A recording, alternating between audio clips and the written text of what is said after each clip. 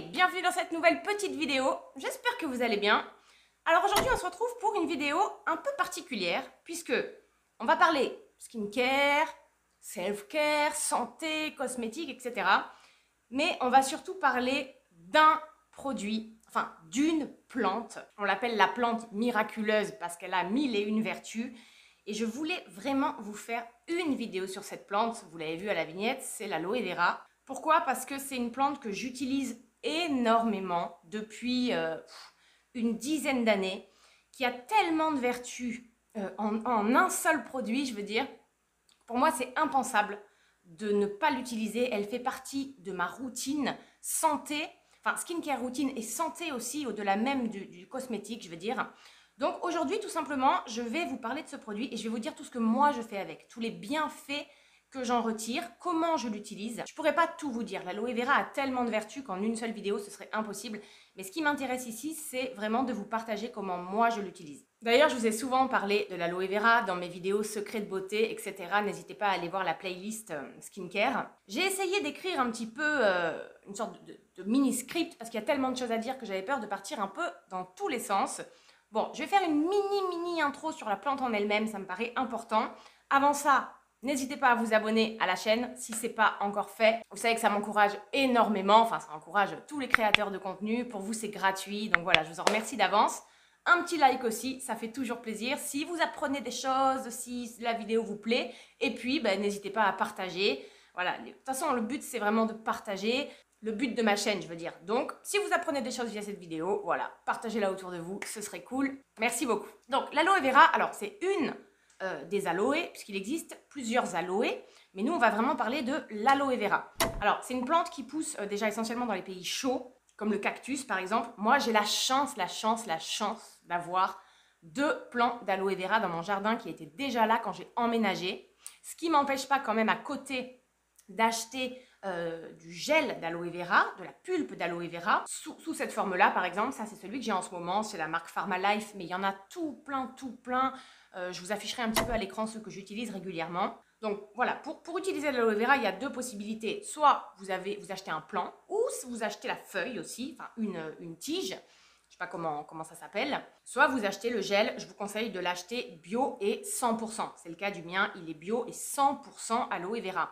En fait, tout simplement, quand vous avez la feuille, il suffit de la couper en deux pour en extraire le gel qui est au milieu, qui est un petit peu visqueux, un petit peu gélatineux, parce que l'aloe vera contient un peu de latex. Mais si vous avez un peu la flemme, vous achetez le gel 100%. C'est tout simplement la pulpe d'aloe vera qui est extraite et qui est mise en pot. Quoi. C'est là, il pleut des cordes. Je vous aurais bien montré, mais c'est très simple. Hein. Vous prenez la feuille, vous la coupez en deux et avec une petite cuillère ou une petite fourchette, vous enlevez le gel et, tout simplement vous le prélevez. C'est tout. Donc, même si c'est une plante, euh, voilà, une merveille de la nature, comme je vous dis souvent, j'aime l'appeler comme ça, ça peut être allergène. On peut être allergique à l'aloe vera, ça arrive.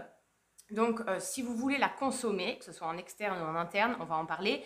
D'abord, essayez de faire un tout petit test euh, sur votre main. Je vais vous montrer comment ça se présente. Donc, le gel que j'ai là, c'est vraiment celui que vous trouvez dans la plante directement. Hein. Donc, ça se présente comme ça. Ça peut être, ça peut avoir des sous-tons jaunes ou blancs selon la plante, tout simplement. Donc, c'est un peu, je vous dis, un peu gélatineux, un tout petit peu visqueux, mais légèrement. Bon, j'en profite pour m'hydrater les mains euh, par la même occasion voyez, c'est transparent. Le mien, là, il a des sous-tons un peu blancs, mais parfois dans la, dans la plante de mon jardin, c'est un peu plus jaunâtre. Mais voilà, c'est très très très léger. C'est vraiment un gel, hein, c'est pas comme une crème. Donc je vous conseille d'abord de faire un tout petit test sur votre main si vous n'avez jamais testé d'aloe vera de votre vie pour voir si vous n'êtes pas allergique, si vous n'avez pas de réaction, voilà, de rougeur, etc. Si c'est pas le cas, vous pouvez vous lancer dans la consommation externe ou interne. Donc pourquoi on dit que cette plante, elle a euh, des milliers de vertus médicinales, euh, cosmétiques, internes, externes, etc. C'est parce qu'en fait, à l'intérieur de ce gel d'aloe vera, on a tout un tas euh, de vitamines, de la vitamine A, euh, de la vitamine B, enfin plusieurs vitamines du, du, groupe B, B1, B2, je crois qu'on a la B5, B9 aussi, de la vitamine C, de la vitamine D. On a aussi dans l'aloe vera énormément d'acides aminés et de minéraux, que ce soit le cuivre, euh, le phosphore, le zinc, le calcium, le magnésium. J'en profite pour la faire un peu euh, pénétrer. de la manganèse aussi, ce qui est très bon pour le, pour le cœur. En fait, dans ce gel d'aloe vera, on a plus de 200 substances extrêmement bénéfiques. Voilà, que je, vous dis que ce soit des acides aminés, des minéraux, des vitamines, etc. C'est pour ça qu'elle peut avoir plein de vertus différentes. Et par exemple, le premier truc que je peux vous dire, c'est que euh, consommer de l'aloe vera en interne, ça peut notamment remédier à des carences qu'on peut avoir justement en termes de minéraux, d'acides aminés, de vitamines, euh, tout ça. Et une dernière petite chose en introduction, simplement, comme le gel d'aloe vera contient un peu de latex, une sorte de latex, c'est quand même, enfin ça peut être déconseillé notamment aux femmes enceintes. Voilà, juste un petit préalable. Je vais essayer de vous parler de l'aloe vera plutôt en trois parties. Euh, partie externe et partie interne. Et moi, je l'utilise essentiellement pour les cheveux, la peau et euh, justement en interne. Alors, d'abord pour les cheveux. En ce qui concerne le capillaire, euh, l'aloe vera, déjà, moi, je m'en sers comme gel coiffant. Euh, alors, je je mets pas de, comment dire, de gel, mais par exemple, quand je me fais une queue de cheval comme ça, et que j'ai des petits euh, baby hair, vous savez, là où des petites mèches un peu rebelles qui traînent, en fait, je prends tout simplement un peu d'aloe vera dans mes mains et je plaque ici ma queue de cheval, ce qui fait que ça va faire comme un gel coiffant, ça va plaquer vos baby hair et vous aurez voilà une coiffure nette, sans cheveux qui dépassent, etc. Euh, les mecs, certains mecs s'en servent comme gel coiffant aussi. Et en fait, ce qui est top, c'est qu'au-delà de venir vous coiffer et de plaquer vos baby hair, comme c'est extrêmement hydratant, l'aloe vera, parce que c'est gorgé d'eau comme plante, ça va coiffer vos cheveux et en même temps, ça va venir les hydrater. Donc au lieu d'appliquer voilà, des gels avec plein de produits chimiques à l'intérieur, etc., autant appliquer du gel pur d'aloe vera qui va en plus hydrater vos cheveux, ne pas les dessécher, en plus de les coiffer. Comme c'est gorgé d'eau, ça hydrate les cheveux, ça accélère leur pousse aussi. Et c'est un excellent masque capillaire. Vu toutes les vitamines euh, voilà, et les, minéraux que le produit contient, ça va vraiment venir hydrater les cheveux en profondeur, mais comme la peau tout simplement. Donc on peut l'utiliser en masque capillaire seul, prendre le gel sans mettre partout sur les cheveux, euh, le laisser agir puis le rincer. Ou alors il y a des petits mélanges qui existent aussi. On peut se faire un masque capillaire euh, avec de l'aloe vera mélangé à de l'huile de rose par exemple, ou de l'huile d'argan, de la kératine, enfin il y a tout plein de recettes. Mais voilà, n'hésitez pas vraiment à l'utiliser sur vos cheveux, comme moi je l'utilise très régulièrement sur mes cheveux. Par exemple quand je fais un masque, euh, un masque à base de kératine et d'argan le plus souvent, je mélange du gel bio d'aloe vera à mon masque et je laisse tout ça agir. Voilà moi perso comment je m'en sers sur mes cheveux. En termes de masque capillaire, euh, et de gel coiffant aussi quand je m'attache les cheveux. Alors, on va en venir à la peau maintenant, à l'usage externe. Euh, donc là, on est plus dans tout ce qui est bienfait, euh, alors cosmétique, mais aussi médicinal. Je commence par le médicinal. Déjà, l'aloe vera, par rapport à tout, tout ce qu'elle contient, ce que je vous ai dit en début de vidéo, vous avez compris que c'est extrêmement hydratant. Donc, par exemple, si vous avez des soucis d'eczéma, très très très utilisé en matière d'eczéma. L'eczéma étant une sécheresse vraiment intense de la peau, quel que soit l'endroit hein, de l'eczéma, que ce soit sur le visage, le corps, etc. Vous appliquez un petit peu de gel d'aloe vera euh, dessus et tout de suite déjà ça va vous soulager, ça va apaiser. Alors bien sûr si votre eczéma est très prononcé, euh, il vaut mieux aller voir un dermato, hein, euh, c'est certain. Moi je vous parle des bienfaits de l'aloe vera sans être médecin. Voilà, des bienfaits vraiment au quotidien. Donc pour tout ce qui est voilà eczéma, rougeur, plaques, euh, le gel d'aloe vera va venir vraiment soulager, apaiser et réhydrater. Moi, j'ai pas d'eczéma, mais j'ai des zones de sécheresse sur le corps euh, assez intenses, notamment au niveau des cuisses, etc. Et c'est vrai que tout de suite, ça vient euh, hydrater, donc faire disparaître les petits boutons, soulager les démangeaisons. Moi, je l'utilise aussi beaucoup, beaucoup, beaucoup pour m'hydrater les mains et les pieds, qui sont des zones euh, qui sont souvent très, très sèches. Là, par exemple, vous voyez, je viens d'en mettre sur mes mains et mes mains sont vraiment toutes douces. Et comme l'aloe vera a extrêmement bien pénétré la peau, on n'a pas du tout l'effet un petit peu visqueux, collant, on sent plus rien. On sent plus rien du tout, les mains sont d'une douceur incroyable. On sent que ça hydrate, quoi, ça fait du bien. Et je fais pareil sur mes pieds. Pour les mains, les pieds, j'utilise énormément aussi. Moi, je l'utilise aussi euh, quand j'ai des coups de soleil. Ici, à La Réunion, c'est vrai qu'on est très exposé et donc ça arrive de prendre des coups de soleil. Sur les coups de soleil, ben, parce que les coups de soleil, ça reste une brûlure de la peau et l'aloe vera est très efficace pour les brûlures, que ce soit une brûlure grave grave, après très très grave, bien sûr, il faut aller à l'hôpital, je veux dire, mais euh, une brûlure euh, assez intense ou un coup de soleil, qui est, qui est, une brûlure plutôt voilà, au premier degré, ça fonctionne énormément, ça va venir apaiser, soulager et réhydrater la peau. Pareil pour tout ce qui est euh, piqûre, piqûre de moustique par exemple, piqûre de fourmis rouges, ici on en a énormément. tout de suite, ça va venir apaiser. Moi, je, je le vois, mais ça m'arrive quasiment tous les jours de me faire piquer soit par une fourmi rouge, soit par un moustique. Je mets un peu de gel d'aloe vera sur ma piqûre et tout de suite, ça va apaiser, soulager la démangeaison. Donc, c'est très utile pour ça. Donc, ça soulage les démangeaisons. Voilà, ça apaise euh, les, brûlures. Ça cicatrise aussi les plaies. Si vous avez des cicatrices, par exemple, euh, appliquer du gel d'aloe vera, ça va permettre d'accélérer le processus bah, de cicatrisation de la peau, parce que c'est tellement hydratant, hydratant, gorgé d'eau, plus toutes les vitamines, les minéraux, les acides aminés qu'il y a à l'intérieur, ça va permettre une meilleure régénération de la peau. Donc si vous avez des cicatrices, ben, n'hésitez pas. Et euh, sur le visage, moi j'en applique beaucoup, beaucoup sur le visage. Pourquoi? Parce que en fait, il y a tout dans cette plante. Déjà, elle va venir hydrater. Elle contient en plus énormément de vitamines qui sont, comment dire, anti-rides, anti-âge, comme la vitamine A par exemple. Ça vient purifier grâce au zinc, au cuivre. Donc en fait, en appliquant du gel d'aloe vera sur le visage, comme, comme gel, quoi, comme crème, vous apportez à votre peau tout un tas de vitamines et de minéraux qui sont présents dans différentes crèmes que vous appliquez.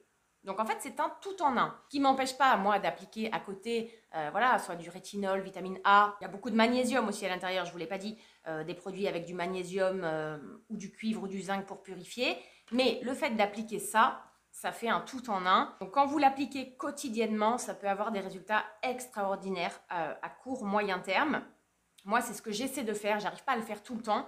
Mais en fait, ce que je fais, alors le matin, j'ai pas forcément le temps, mais le soir, j'applique quasiment systématiquement du gel d'aloe vera sur mon visage. Et ensuite, je mets mon sérum et ma crème. C'est aussi euh, pas mal quand on a de l'acné, puisque euh, tous les composants, comment dire, purifiants qui sont à l'intérieur, comme le cuivre et le zinc, par exemple.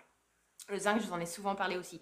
Comme c'est extrêmement purifiant, ça peut être très bénéfique sur l'acné parce que ça va venir vraiment purger la peau, la nettoyer, la purifier. Et on verra tout à l'heure que ça a aussi ses effets en interne.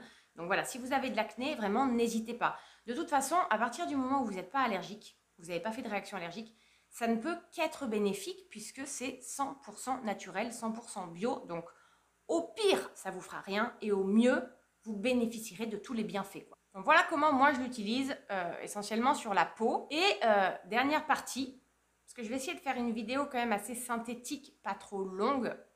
Mais si vous voulez que je développe certains points, notamment des recettes de masques visage, de masques cheveux à base d'aloe vera, dites-le moi dans les commentaires, je le ferai avec plaisir. Le troisième chapitre, on va dire, c'est tout ce qui est consommation interne. Alors déjà, sachez que euh, moi, je l'utilise énormément, l'aloe vera, pour venir renforcer les défenses immunitaires. On en revient toujours à la compo euh, que je vous ai décrite en intro qui est extraordinaire. En interne, ça va venir vraiment renforcer toutes les défenses immunitaires. Et en cette période euh, de surcroît, voilà, de coronavirus, euh, etc. Moi, j'ai eu la dingue il n'y a pas longtemps, donc j'ai besoin vraiment de renforcer les défenses immunitaires. Quand l'été se termine, on arrive automne, hiver, on en a tous besoin. Voilà, moi, ce que je fais, c'est que je mets un petit peu de gel d'aloe vera dans une cuillère à café. J'en prends une ou deux par jour, ça dépend. Ça dépend des périodes et je sais que mon système immunitaire va être vraiment renforcé. Ça vient aussi prévenir les cancers, donc ça ne les guérit pas, bien évidemment, mais ça euh, accentue la prévention d'attraper certains cancers, pas tous, mais certains. Donc en interne, le, premier truc, moi c'est ça, j'utilise pour renforcer vraiment mon système immunitaire, mon système lymphatique. J'utilise aussi énormément pour tout ce qui est flore intestinale, parce que perso, j'ai pas mal de soucis avec mon ventre, comme beaucoup de femmes hein, d'ailleurs. Euh, que ce soit des soucis de ballonnement, de constipation. Et l'aloe vera, tout comme, euh, tout comme l'effet sur la peau, en interne, ça va venir vraiment purger votre flore intestinale, la nettoyer, la débarrasser de toutes les toxines dans la flore intestinale et dans le système sanguin et lymphatique de manière générale. Et alors, moi, quand je l'utilise, c'est assez euh, immédiat. C'est-à-dire que, par exemple, le soir, quand je me couche en ayant avaler une cuillère à soupe de gel bio d'aloe vera, le matin, euh, je vais au WC. Bon, je ne vais pas vous raconter les détails, mais je sens bien que euh, ma flore intestinale, mes intestins, tout mon système digestif a été nettoyé, purgé, purifier. Et là, je vous parle d'une seule utilisation. Si vous le faites sur du plus long terme, c'est extrêmement efficace parce que ça a aussi un effet un peu laxatif. Donc ça va venir vraiment nettoyer les toxines, les bactéries, les infections euh, dans l'intestin et dans le corps, comme je vous dis. Donc pour ça, c'est très efficace. Si vous avez des soucis comme moi, voilà, des problèmes intestinaux, n'hésitez pas, plutôt que de se bourrer de médoc, essayez, franchement, essayez juste de consommer du gel bio d'aloe vera pur et vous verrez, vous verrez les conséquences sur votre, euh, ben, sur votre ventre, quoi. Euh, moi, j'ai beaucoup moins de ballonnement, j'ai le ventre beaucoup moins gonflé quand j'en consomme. Je vais beaucoup plus facilement aux toilettes. Voilà, je me sens mieux. Tout simplement, je me sens mieux dans mon ventre. Et on sait que le ventre, c'est le deuxième cerveau. C'est assez révélateur de, notre état d'esprit, tout ce qu'on a dans le ventre aussi, donc c'est extrêmement bon pour ça. Sur la flore intestinale, l'aloe vera, ça peut avoir un peu le même effet en fait que les probiotiques. C'est-à-dire que ça va venir vraiment la réguler, réguler la flore intestinale. Et moi, je préfère utiliser, voilà, ça, au moins je suis sûre euh, de la naturalité et de la pureté du produit. Euh, même si les probiotiques, c'est plutôt pas mal, hein, je préfère utiliser ça. Comme je vous ai dit, ça protège, ça prévient de certains cancers. Ça permet aussi de réduire le diabète et le mauvais cholestérol, si c'est votre cas, ça peut être pas mal. Moi, pas encore, mais je vous le dis pour info. C'est très très bon aussi pour les problèmes d'arthrose et d'articulation, pardon. Moi, c'est pareil, j'en ai pas encore, mais j'ai pas mal de, enfin, je connais pas mal de gens autour de moi qui ont ce type de difficultés, qui sont plus âgés que moi. Et c'est vrai que par friction, euh, par application déjà externe et par friction sur les articulations et sur les zones où on a de l'arthrose, ça permet vraiment de soulager euh, instantanément déjà et aussi sur du long terme. Donc si vous avez aussi ce type de problématique, ben, tentez, n'hésitez pas à essayer. Et donc en interne, je vous disais, moi j'utilise pour les défenses immunitaires, pour la flore intestinale essentiellement, et aussi pour combler mes carences, parce que j'ai tendance à avoir des carences, euh, soit en matière de minéraux, d'acides aminés ou de certaines vitamines, la vitamine D notamment, en ce moment, je suis assez en carence. Et donc, j'utilise voilà, pour combler toutes ces carences en un seul produit. Ça permet de nous réapprovisionner euh, de tous ces éléments-là. Voilà. C'est les trois manières principales, enfin les trois raisons principales pour lesquelles personnellement, moi, euh, je l'utilise en interne, sachant qu'il y en a beaucoup d'autres. Mais dans cette vidéo, j'avais envie surtout de vous parler de mon expérience à moi, de mon utilisation à moi. Comme je vous dis, il y en a euh, énormément d'autres énormément d'autres bienfaits grâce aux 200 substances, plus de 200 substances qu'elle contient. Mais moi, perso, c'est surtout les cheveux, la peau, que ce soit visage ou corps, et l'interne. Et je voulais vraiment vous parler de cette plante parce que euh, on se tourne de plus en plus vers, le naturel. Enfin, en tout cas, moi, j'essaie. Et ça, c'est un produit, euh, voilà, si vous me suivez depuis un moment, vous, vous, le savez, euh, qui est dans ma routine depuis toujours parce que j'en observe les bienfaits externes et internes qui est 100% naturel. Donc on a tout à gagner en fait à introduire l'aloe vera dans son mode de vie. Ça n'a que des bienfaits. Il y a d'autres plantes comme ça aussi qui sont assez miraculeuses, mais en tout cas, euh, celle-ci, l'aloe vera, c'est une des plus accessibles. Ça coûte très peu cher en plus, c'est ça l'avantage, euh, c'est qu'un tube comme ça, on va le payer dans les 5 euros. Celui-là, par exemple, bon, il y a 200 millilitres. moi, des fois, j'achète carrément des, voilà, des, des bouteilles d'un litre pendant les périodes où j'en consomme beaucoup en externe et en interne. Mais c'est un produit qui fonctionne super bien, moi, sur mes cheveux, sur ma peau, euh, et surtout, surtout sur mon système digestif. Là, je, vous en parle parce qu'en ce moment, j'utilise beaucoup depuis 2-3 jours, et rien qu'en 2-3 jours, je me sens beaucoup mieux. J'ai le ventre léger, euh, je me sens bien, quoi. Voilà. Je voulais faire une vidéo dédiée à cette plante, même si j'aurais pu encore en parler pendant mille ans. Il y a tellement de choses à dire. Ce que je vous conseille, c'est d'essayer, tout simplement, que vous ayez des problèmes euh, voilà, d'eczéma, de flore intestinale, euh, de cœur, des brûlures, des cicatrices, des problèmes de chute de cheveux ou de cheveux déshydratés, problèmes de défense immunitaire ou de système immunitaire un peu affaibli, euh, suite à certaines maladies que vous avez chopées, ou si vous voulez prévenir le, coronavirus aussi en ce moment, hein, c'est important. Essayez, achetez-vous un tube, c'est 100% naturel. Bon, je pense que je vous ai tout dit. J'espère que j'ai pas trop pété dans tous les sens. Il y a tellement de choses à dire que c'est pas facile. Euh, j'espère que ça vous a plu, que vous aurez peut-être appris des choses. Si vous voulez que je vous fasse une démo, quand j'achète pas le gel comme ça directement en tube, comment moi je l'extrais de la feuille, quel masque je fais avec, quelle préparation je fais avec aussi en interne. Pour la peau par exemple, je vous l'ai pas dit mais c'est un exemple, je me fais des fois un petit masque où euh, je mélange en fait une rose, quand j'en trouve hein, bien sûr, une rose entière, je prends mon blender, je mets une rose à l'intérieur, je mets 3 cuillères à soupe euh, de gel bio d'aloe vera et un yaourt au lait entier qui va vraiment contenir euh, voilà, de l'acide lactique, etc. Je blende tout ça et je m'applique ce masque sur le visage. Donc on a tous les bienfaits euh, de la rose, qui est, on sait, très anti-âge, tous les bienfaits du yaourt, avec notamment l'acide lactique qui va venir purifier, et les bienfaits hydratants euh, anti-âge, anti-rides de l'aloe vera. Et une fois ce masque rincé, on a une peau qui est sublimissime. Enfin voilà, j'ai des petites recettes. Écoutez, j'attends vos retours dans les commentaires. Euh, si vous voulez peut-être une partie un peu plus développée, si vous avez des questions, vous hésitez surtout pas. Euh, des problématiques spécifiques, si je sais, si je peux y répondre, je vous répondrai avec grand plaisir. Il y a peu de produits sur lesquels comme ça, euh, je tiens à faire des vidéos dédiées, mais l'aloe vera c'était vraiment the number one. J'ai oublié de vous dire un truc, je le dis vite fait aussi, on peut s'en servir comme antitranspirant, comme déodorant, enfin il y a tout plein de trucs à faire. Voilà, je, je vais m'arrêter là, je pense que j'en ai déjà beaucoup parlé. N'hésitez pas à partager la vidéo, comme je vous disais au début, si vous avez appris des choses. Et on se retrouve dans l'espace commentaire, j'ai hâte de pouvoir échanger avec vous. Je vous embrasse très très fort et je vous dis à très bientôt pour une prochaine vidéo. Bye bye